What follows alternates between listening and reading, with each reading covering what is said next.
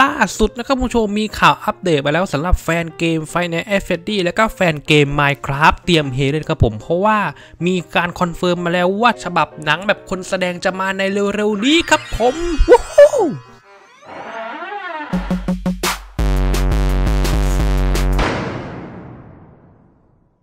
โยสวัสดีครับผมเองนะครับผมคลิปนี้เรามาอัปเดตข่าวสารสั้นๆ เกี่ยวกับเกม Minecraft แล้วก็ Final a d f e d d y การอีกครั้งหนึ่งครับผมแต่ในฉบับเนี้ยคือแบบไม่ใช่แค่เป็นเกมคุณผู้ชม แต่เป็นเกี่ยวกับหนังด้วยนะครับผมเอาจริงตอนแรกผมคิดอยู่ว่าผมจะทำแยกเป็น 2 คลิปดีไหมแบบไฟในคลิปหนึ่งไปเลยกับ Minecraft คลิปหนึ่งไปเลยแต่รู้สึกว่าเอ้ยจริง ๆ แต่ละอันเนี่ยมันไม่ได้มีข้อมูลอะไรเยอะขนาดนั้นก็เลยมัดรวมกันเป็นคลิปเดียวไปเลยดีกว่านะครับผม โอเค เพื่อไม่ให้เป็นการเสียเวลานะผมก่อนดูคลิปนี้อย่าลืมกดไลค์กดแชร์และกดสมัครช่องของเม้งด้วยนะครับผมโอเคครับถ้าเกิดพร้อมแล้วก็รับชมพร้อมกันเลยครับ เปิดมาแรกผมขอพูดกันถึงเกม Minecraft ก่อนนะคุณผู้ชม อย่างที่เรารู้กันก็คือเกม Minecraft เนี่ย ถูกสร้างมาเป็น 10 กว่าปีแล้วคุณผู้ชม เออ แล้วก็ก่อนหน้านี้ไม่ใช่ก่อนหน้านี้สิ คือนานมาแล้ว มีข่าวจากทางสตูดิโอมาว่าเฮ้ยจะมีการสร้าง Minecraft เวอร์ชันคนแสดงมานะ เออ คือมีมานานมากคุณผู้ชม แต่คือมีแล้วก็เราก็ไม่ได้เห็นอัปเดตกันบ่อยเท่าไหร่นะครับผม เหมือนสตูดิโอบอกแค่ว่าจะมีแล้วก็เงียบไปเลย แล้วก็ได้ข่าวว่ามีช่วงนี้แบบมีการเปลี่ยนพุ่มกับ มีการเปลี่ยนบทใหม่อะไรแบบดูวุ่นวายนะครับผม จนทำให้แฟนเกมอย่างเราเนี่ยรู้สึกว่าเฮ้ยการที่เราจะได้เห็นเกม Minecraft เนี่ยกลายเป็นหนังเวอร์ชันคนแสดงเนี่ยมันจะแบบลิบหลี่หรือเปล่านะครับผม แต่ล่าสุดนี้นะครับผมทางสตูดิโอเนี่ยเขาก็ได้ออกมาอัปเดตข่าวสารใหม่นะครับผมซึ่งทาง Warner Brother เนี่ยเขาก็ได้ยืนยันแล้วนะครับผมว่าเกม Minecraft เวอร์ชันที่ดัดแปลงจากเกมมาเป็นหนังภาพยนตร์เนี่ยจะมีกำหนดฉายจริง ๆ อยู่ในวันที่ 4 เมษายนปี 2025 นั่นเองนะครับผม เย้ก็คือในอีก 2 ปีหลังจากนี้นะครับผมเออคือคือไม่ต้องรีบรอเลยคุณผู้ชมนั่งรอไปยาวๆเลยอีกอีก 2 ปี ไม่รู้ว่า process ของหนังตอนนี้ก็คือแบบอยู่ในในกระบวนการไหนถ่ายทำหรือยังเออมีการสร้างเขียนบท ดีหรือยัง อันนี้ก็คือยังไม่รู้นะครับผม เพราะว่าอย่างที่ผมบอกก่อนหน้านี้มันก็มีข่าวที่บอกว่ามีการเลื่อนฉายบ้าง มีการแบบเปลี่ยนโปรแกรมแบบโอ้คือแบบมีการปรับเปลี่ยนเยอะจนแฟนเกมของเรามองไม่เห็นเลยว่าเฮ้ยไอหนังเรื่องนี้มันจะมีจริง ๆ หรือเปล่า แต่ล่าสุดสตูดิโอก็คือ Warner Warner ออกมายืนยันแล้วครับผมว่าจะฉายแน่ๆ 4 เมษายนในอีก 2 ปีข้างหน้านะครับผม อันนี้ก็ต้องมารอดูอีกทีนึงว่า เขาจะมีการปรับเปลี่ยนอะไรหรือเปล่านะครับผมเพราะว่าอย่างที่เรารู้กันตอนนี้ก็คือ ผมยังไม่เห็นเลยว่า ใครเป็นคนแสดงวะ ตัวเรื่องจะเป็นยังไงเนื้อเรื่องหนังมันจะเป็นยังไงแล้วก็ mood อันนี้คือผมเชื่อว่าหลายๆคนอยากรู้มากก็คือ mood ของ mood and tone ของหนังอะเออจะเป็นเวอร์ชั่นไหน จะเป็นในรูปแบบไหน เพราะว่าไอ้ตัวเกมที่เราเล่นอะมันก็เป็นแบบเป็นบล็อกบล็อกอะเออคิดว่าก็คืออยากรู้ว่าถ้าเกิดเป็นคนแสดงจริงๆอะมันมันจะเป็นรูปแบบไหนวะการแสดงเนื้อเรื่องมันจะเป็นรูปแบบไหนแบบไปปราบ Ender Dragon อะไรแบบนี้เป็นเรื่องราวเกี่ยวกับ Steve อย่างเงี้ยเหรอ เออ นะครับผม อันนี้ก็ไม่รู้เหมือนกัน ต้องรอดูกันต่อไปนะครับผม เพราะบางทีผมเห็นบางคนก็แนะนำว่า เฮ้ย เอาจริงทำเป็นหนังเกี่ยวกับไมค้าร้อยวันก็น่าจะเข้าท่า ไอ้อันนี้โคตร create เลยนะครับผมไม่รู้ว่าจะเป็นจะได้จริง ๆ หรือเปล่านะครับซึ่งข่าวสารที่เราทราบมาคร่าวๆก็พอจะรู้ว่าจะให้พี่ Jason Momoaจะเข้ามารับบทในเรื่องนะครับผมไม่รู้ว่ารับบทนี่คือแบบว่าเป็นการแสดงหรือว่ารับบทเป็นการพากย์เสียง อันนี้ก็ต้องมารอดูกันอีกทีนะครับผมพี่ Jason ก็คือคนที่เล่นเป็นอาควาแมนในหนังหนังของ DC ก็คือพี่คนนี้นั่นเองนะครับผมเออคือไม่รู้เหมือนกันนะว่ามันจะออกมาในรูปแบบไหนก็ต้องรอติดตามกันต่อไปนะครับผมยังไงก็เป็นกำลังใจให้ให้กับแฟนๆเกม Minecraft ที่รอติดตามหนังเรื่องนี้อยู่นะครับับผมโอเค ทีนี้เรามากันในส่วนของ Five Nights at Freddy's ฉบับหนังโรงกันบ้างนะครับผม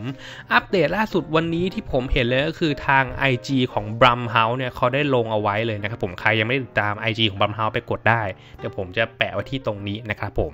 เขาก็อัปเดตบอกมาเลยอันนี้ผมบอกเลยว่าผมว้าวมากๆคุณผู้ชมเพราะว่าล่าสุดที่เราตามอะ ผมเคยพูดไปว่าไอ้หนังของไฟในเนี่ยผมคิดว่าไม่น่าเกินปี 2 ปีก็คือกะว่า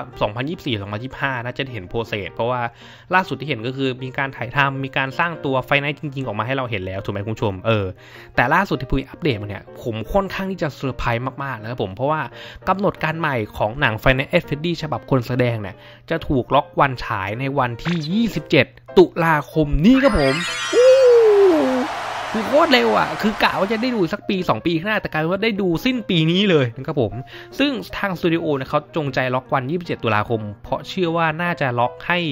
หนังลงทันช่วงฮาโลวีนพอดีนะผมว่าฮาโลวีนก็คือ 31 ตุลาคมถูกปะเออแต่ว่าเขาฉายก่อนเป็นวันที่ 27 ตุลาคมก็เผื่อการโปรโมทเผื่อการทำกิจกรรมไปด้วยก็น่าจะลงล็อกพอดีเป็นวันฮาโลวีนนะครับผมก็ถือว่าเป็นหนังสยองขวัญต้อนรับช่วงสิ้นปีพอดีนะครับผมแต่อันนี้ต้องบอกกันท่านผู้ชม27ตุลาคมเนี่ยเฉพาะในประเทศของเขาก็คือสหรัฐเท่านั้นนะครับผมเฉพาะอเมริกาเท่านั้นผมส่วนที่จะเอามาเข้าไทยไหมก็ต้องมารอดูกันอีกทีว่า ค่ายไหนจะเอาเข้ามาแล้วก็จะฉายช่วงไหนนะครับผมแต่ถ้าเกิดกระแสตอบรับในไทยดีผมคิดว่า เราก็น่าจะได้ดู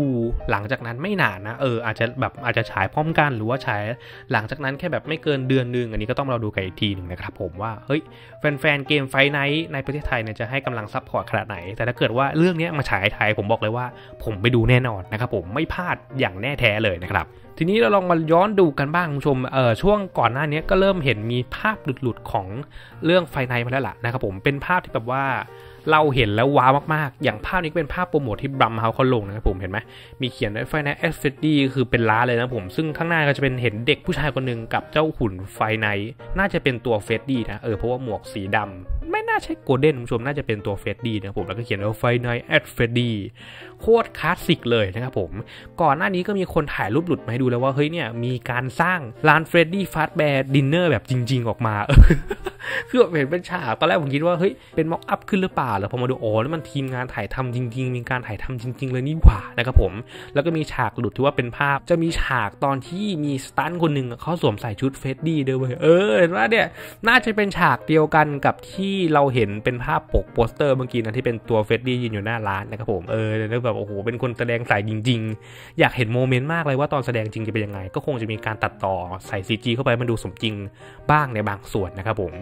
แล้วก็มีอีกหนึ่งฉากที่หลุดออกมาคือเป็นฉากที่เหมือนเป็นรปภคนหนึ่งกำลังทำอะไรบางอย่างอยู่ในห้างนะครับผมเอออย่างที่เรารู้กันว่ามันก็จะมีตัวละครที่บอกว่าเป็นรปภอยู่ในเรื่องด้วยถูกไหมเออแต่ทีนี้ก็ต้องดูอีกทีนึงว่าในเรื่องจริง ๆ ของไฟน a ลเอฟดีฉบับคนแสดงเนี่ยเขาจะปูทางในในในแบบฉบับไหนนะครับผม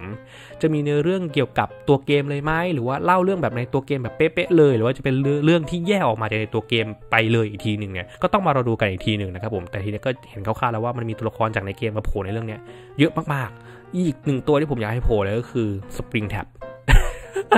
นี่นี่คือแบบคาดหวังนะแอบคาดหวัง อยากเห็นจริงๆ ถ้าเกิดไม่มีสปริงแท็บก็เอาแบบเป็นวิลเลียมอัฟตันก็ได้เออแต่ถ้าเกิดมีวิลเลียมอัฟตันมาก็ต้องมีสปริงแท็บมาถูกบอกปะเออนี่มันมันคู่กันอยู่แล้วนะผม อันนี้คือแบบแอบแอบแอบแอบแอบพูดแต่ว่าอยากเห็นอยู่ในฉบับหนังนะครับผมอ๋อคุณผู้ชมนี่ผมมาอ่านข้อมูลเพิ่มเติมแล้วพบนี่เขาลงเอาไว้นะครับผมว่าเออจริงๆนะในเรื่องในฉบับหนังเนี่ยน่าจะตรงกับในตัวเกมเลยนะครับผมก็คือกล่าวถึงพนักงานรักษาความปลอดภัย ที่มาทำงานในร้าน Freddy Fazbear Pizza ในคืนแรก แล้วก็ต้องเจอดีเข้าให้เลยแบบนี้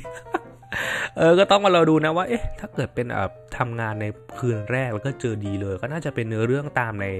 ภาคหนึ่งเลยปะ เออ แต่ถ้าเกิดเป็นเวอร์ชั่นหนังก็คงจะต้องมีการเล่า flashback บ้างนะว่า มีการเกิดอะไรขึ้นบ้างในร้านนี้ มีเหตุการณ์อะไรเกิดขึ้นบ้าง เออ เพราะฉะนั้นผมคิดว่าเราได้น่าจะได้เห็นตัววิลเลียมแน่นอนนะครับผม น่าจะไม่มีการเปลี่ยนตัวแสดงแต่อย่างใด เพราะว่าจากที่ดูมาเนี่ยเขาก็ได้ตัวหนังกับตัวสตูดิโอเนี่ยเขาก็ได้โคกับผู้สร้างอย่างคุณสกอตก็คือเจ้าของเกมอะโคโดยตรงเลยในการสร้างหนังเรื่องนี้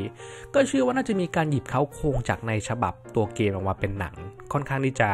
เยอะอยู่พอสมควรนะครับผมแต่ว่าจะออกมาตรงใจคนดูไหมหรือก็ต้องมารอดูกันอีกทีนะครับผมแต่ว่าอย่างที่บอกเลยก็คือไม่นานเกินรอ 27 ตุลาคมนี้คุณผู้ชม ในโรงภาพยนตร์ของสหรัฐอเมริกานะครับผมส่วนประเทศไทยเราก็ต้องรอลุ้นกันอีกทีว่าจะเข้าช่วงไหนนะครับผม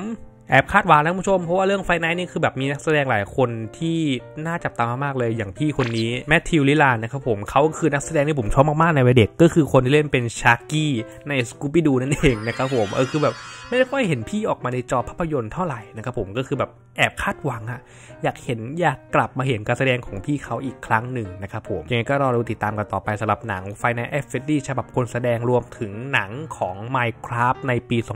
2025 ด้วยนะครับผมโอเคนะครับผมชมคลิปนี้ก็มีเท่านี้ผมอย่าลืมกดไลค์กดแชร์และกดเซิร์ชช่องต่อเมงด้วยนะครับผมผู้ชมอยากดูหนังเรื่องไหนมากกว่ากัน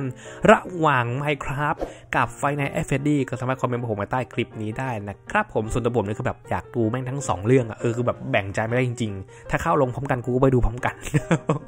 โอเคคลิปนี้นี่คือผมสวัสดีครับ